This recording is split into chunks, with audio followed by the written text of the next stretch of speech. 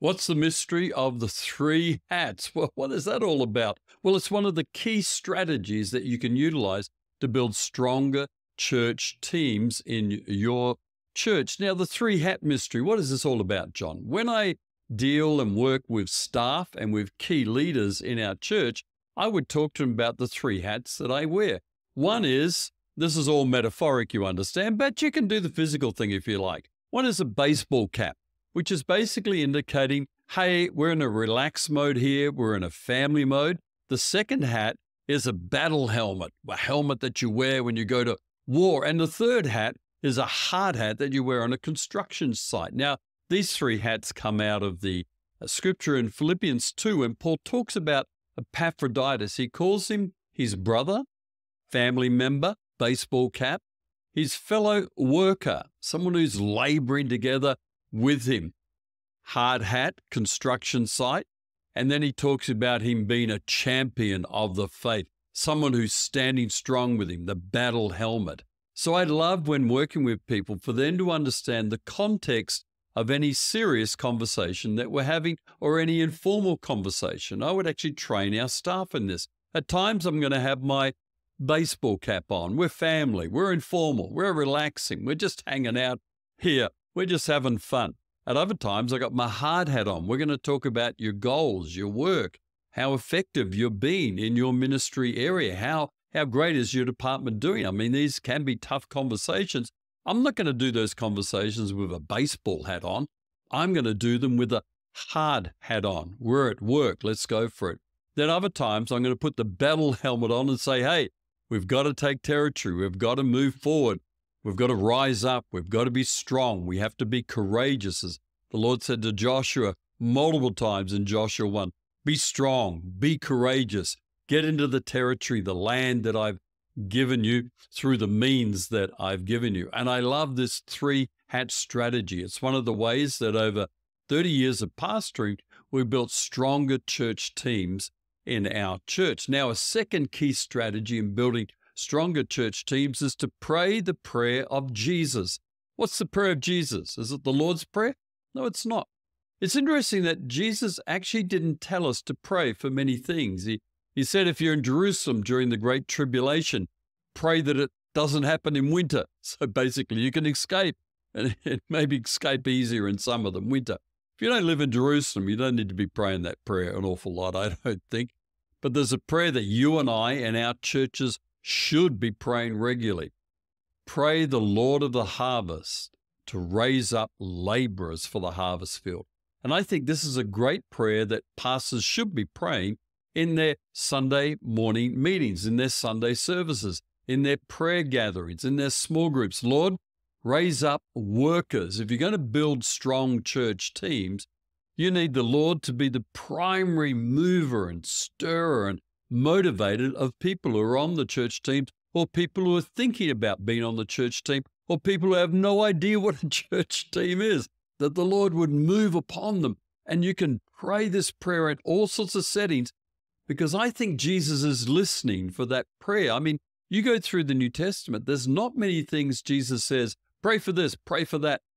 But this prayer, because he told us to pray for it, I reckon the Lord's kind of got a real ear for it. He's really kind of hanging out, waiting to hear from you about that prayer.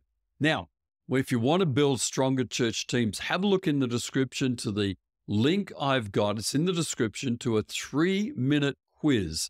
It's a short evaluation of how you can get more people serving in your church.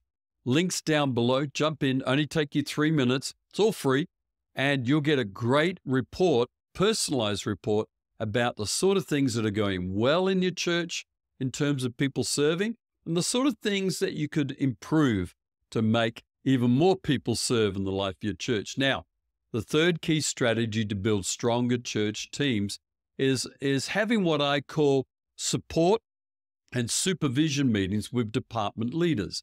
Now, most churches have at least a worship department leader, a children's department leader, Maybe your church has a small groups department leader, a men's ministry department, maybe a women's ministry department, maybe a new people's department, maybe a volunteer serving director. I don't know.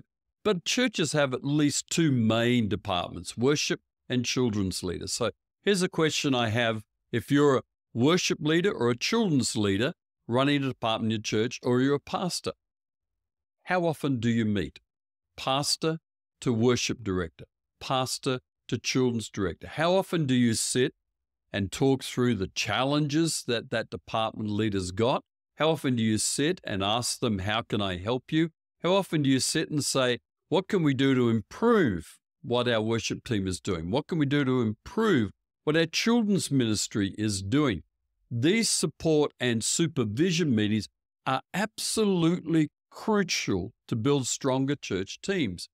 One of the shocks I got when I when I started consulting over 10 years ago now amongst churches around Australia, Europe, the UK, and in different parts of the world, um, doing a lot of consulting, is I was shocked how often pastors didn't meet with their key department leaders. They could go six months without a sit down, what I call a support and supervision meeting that's kind of formal. It's the hard hat meeting that you've got to ask questions, to chat about goals, to look at improvements, to say, where can I help you? How can I do my role better as a pastor? I was shocked how many pastors don't do this regularly, routinely, habitually. If you're a pastor, start doing these meetings. They'll be brilliant. They'll be loved by your department leaders. If you're a department leader who doesn't have these meetings with your pastor, start having them. Just ring them up and say, Pastor, I want to meet with you every month to talk about my department. Just 45 minutes of your time every month, every six weeks. Can I meet with you and talk through what we're doing, how we're trying to do it, how you can help me, how I can support you in your vision? You can initiate that with your pastor if your pastor has not been doing it. The fourth way, the fourth key strategy to build stronger church teams, and this is for pastors. Pastors, get together your department leaders, the worship director, kids director, youth director, small groups director, new people's Get them together about every six weeks, maybe every month, two months, whatever works for you. Get them together for 90 minutes and have some food and some drink and some fellowship, have a coffee, have some nice food there, get some really kind of nice nibbles going with your food and and sit around and pray together, talk together, strategize together, share some good news, talk about things that are working, a bit of vision sharing, a bit of kind of motivation for the team a bit of training for that team, and just do the ministry you've got to do together as a team. And again, uh, one of the shocks I got in my consulting is how few pastors do this regularly. I mean, you don't have to do it that often. You can do it once a term if it works for you. Some of you want to do it every six weeks, whatever, but at least three or four times a year, getting those department directors together and just loving them just giving them great hospitality, inspiring them, encouraging them, putting on a putting on a bit of a video. Take one of the videos here from the Grow a Healthy Church channel, play it and use it as a fire starter, a discussion starter to talk about even how to build stronger church teams in your church. Do this again. I think this will transform your church world and your church life. Okay, the fifth strategy this is a key strategy to build stronger church teams in your church is to develop a culture of what I call the assistant leader culture. Don't let a small group go without having an assistant leader. In fact, I believe having two assistant leaders is even better. Don't let your greeting team just exists without a culture of, right, Where's the trainee greeter? Where's the trainee greeter we can get involved on the team? Who's an assistant to the main greeters we've got? In your children's ministry, who are the assistant leaders? And your church might be sizable. You might have different departments in your children's ministry, and you've got a leader over the toddlers. Well, who's the assistant leader for the toddlers? Well, we've only got three leaders. We don't really need an assistant, do we? Well, you may not need one, but I think you want one because you want an assistant leader culture in your church. Your church will thrive. Your church dreams will do way better if there's an assistant leader culture where people are going, you know what? It's not just about me doing the role, fulfilling the duties, getting the work done. It's actually me doing it with someone else. It's interesting, isn't it? When Jesus sent the disciples out, it was two by two. He sent them out not just by themselves, but they had a companion, they had someone to walk with. And I think church teams, church groups, every aspect of church is done better when you've got an assistant leader culture where you just look through every department of your church and you put assistant leaders in. Now, you might think, well, I have enough trouble finding primary leaders, let alone assistant leaders. Well, let's go back to prayer too. Pray the Lord of the harvest. Begin to see God, begin to believe God. And can I suggest this to you? Put it into your organizational chart. It may be in your head, that chart, or on paper, doesn't matter. Put in a little box that says assistant leader of every leadership role. Does your children's director have an assistant? Does your worship director have an assistant? Create them. And you know what you get out of that? A leadership pipeline. Okay, the last strategy, the key strategy to build stronger church teams. Number six is whenever you get together with leaders, make sure good news is shared. Train your leaders to bring a good news story to any support meeting, supervision meeting that you've got, any operations team, getting your department leaders, train them to bring that. Hunt down good stories yourself. Be ready to tell a good story of what the Lord is doing in your life and in the life of your people. And look, it may be as simple as, you know, this morning I was just med- meditating my way through Galatians, and this verse really comforted my heart. It strengthened my heart. And just to share that verse with someone that, you know what it says to them? One, you're a Bible person. Two, you've got to walk with Jesus. And three, you've got something to share that elevates other people. And I think if you have this culture of when we get together with people, we're talking about the good thing God is doing in my life or in someone else's life. It might be someone coming to Christ. It might be someone getting baptized in water. It might be someone getting filled with the Spirit. It might be someone sharing their faith at work and inviting someone to church. It might be someone who saw someone say yes to that invitation and come to church.